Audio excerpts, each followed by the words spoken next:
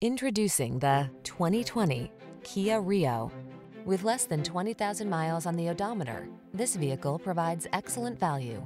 Enjoy lively performance, refined comfort, modern infotainment and connectivity, as well as surprising affordability in this multi-talented Rio.